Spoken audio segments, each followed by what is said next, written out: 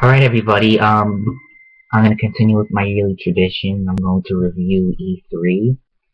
Um, my first review for E3 conferences was back in 2012, and then I did it in 2013, and I'm doing it now. This time I am not going to be reviewing the Nintendo conference because I'm just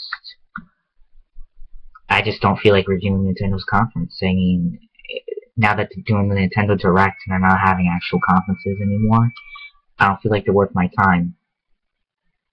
So, I'm going to review Microsoft's press conference, and the reason why I'm two days late and I didn't do it the day that happened is because, first of all, I was in school when the press conference was taking place, um, and plus I've been studying for exams. But regardless, let me just do this, get this done with, and I'll share my thoughts on Microsoft's press conference.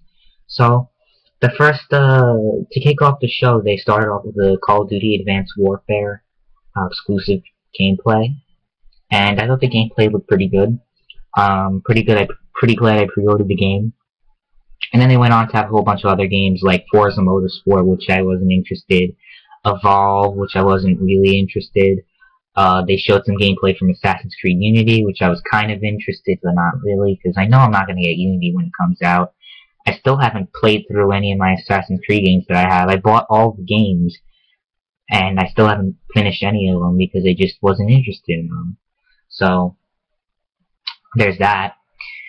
But, regardless, the game looks good. Don't get me wrong.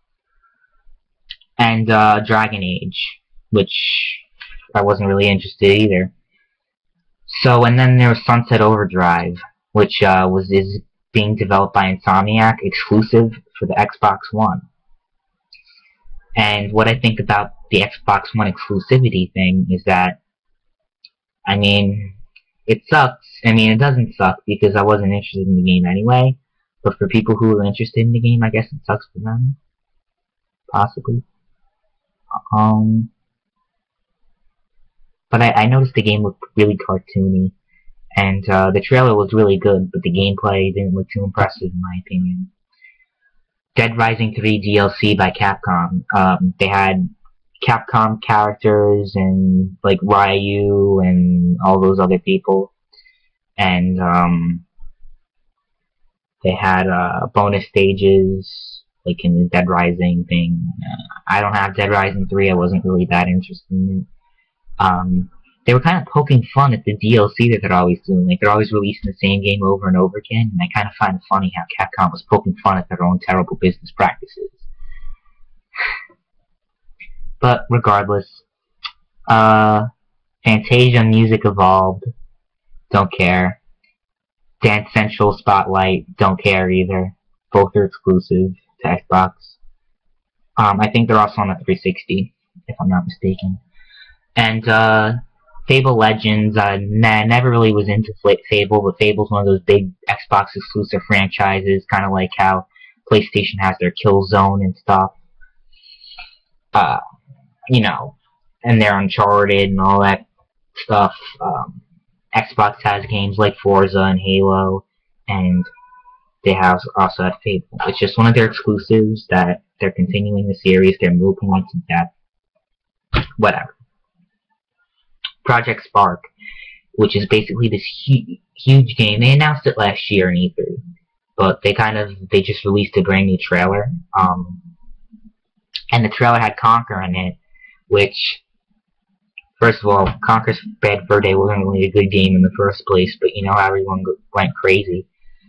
But then again, ever since Rare came to Microsoft, they haven't been making that good games anyway. I mean, the games weren't amazing to begin with. I mean, just being truthful, but it's just the fact that it brings back childhood nostalgia for a whole bunch of people. So that's why people like that, and that's why they put Con Conker in the game. Um, what else? A game called Ori. I think it's like an indie game. Uh, whatever. Um, they had a trailer for the new Halo game, and they announced something that was really, really cool. They announced the Halo Master Chief Collection, which consists of Halo 1 through 4. It's an awesome. And they're every single multiplayer map, every single campaign mission, everything in one thing. That's nothing I've ever seen before, and I'm really impressed. I'm gonna get, well, I'll talk about later. But basically, they showed they showed some gameplay of Halo 2 because Halo 2 is what people are most looking forward to. Since um, Halo 1 was remade recently, Halo 3, I mean, it's uh, I mean, it was released a while ago, so I guess people, if there was, if people would be second most excited about that. And Halo 4, people weren't um, too big fans of the multiplayer at least, but I heard it did get positive reviews. I did, I did own the game, but I just decided to trade it in because I wasn't really interested in it. I mean, I didn't play Halo 2 before though either, so uh, it'll be a, a, new experience for me if I ever get the chance to get an Xbox One and play the game. Um, but it will keep everyone waiting for the next Halo game, surely. And the way that the the way that they're designing it is that they have the playlist. So like they have a playlist. It's a one game basically, but the multiplayer is in one game, and the playlist you can switch from one, two, three, four, and combined. So basically, you know how you can create Halo maps? You could do that for all four games and merge them together. Uh, the whole thing with Halo Reach, uh, I'm just talking about something else right now. The whole thing with Halo Reach and Halo Anniversary is that the Halo, the multiplayer were merged together. But like, if you had Halo Anniversary, you couldn't play certain Reach things and vice versa. But now that it's in one universal game, this will solve any of the issues that have occurred before. Unless they sell them separately, which I hope they do not do, because $60 for four games, I think anyone would be interested in that. Moving on. Inside, which is uh, an indie game, I believe. Uh, it basically has this, has this little kid running. It's like kind of like a platformer. Uh, it looks kind of cool, I guess. Um, they had a huge showcase of a whole bunch of indie games that I didn't even, uh, I mean, I'm not really that much of an indie person. Some of them looked cool. Ooh, sorry. Uh, but you know, Indie games are good. It's good to have indie games because it increases the library on your console. They had more Tomb Raider, a uh, different Tomb Raider game now, a new Tomb Raider. Um, not really too interested in it to be honest. And then they had Witcher 3, Phantom Dust, uh, The Division, and then they had Crackdown to be honest, all these like the games I just mentioned, I wasn't really interested either. But now it's time for me to talk about my overall thoughts. Now, usually when I review something, I give like a, a numbered score, a letter. A le I give a letter score. Now, back in 2012 and 2013, I believe also, I did um letter scores. I mean, I did number scores, and now I'm doing letter scores. But when it comes to these, I don't feel like giving them an actual grade would be I don't know, like, it's one of those things where I don't think that doing that would be, would make sense, in my opinion.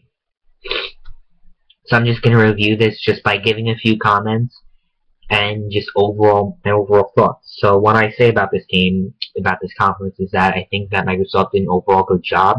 They convinced me that I do, I want an Xbox One now, and also the fact that the Xbox One will be $400 just the exclusives that they had um, were alright. I mean, a lot of the exclusives they had didn't interest me, but Halo Master Chief Collection interests me a lot. Um, and I also want to play like Titanfall too because I never got to play that game and I heard it was. I mean, I heard some mixed reviews from people, but the only reason why I don't have it now is because my PC can run it. It's just I I I have a policy where I'm never gonna buy Origin or EA Origin is terrible. I'm never gonna buy Origin. Uh, games through Origin rather. But Microsoft overall convinced me to get an Xbox One, and I'm, I'm hopefully I'm you know as soon as I get my work going, you know, get my job going, uh, I'm probably gonna get one.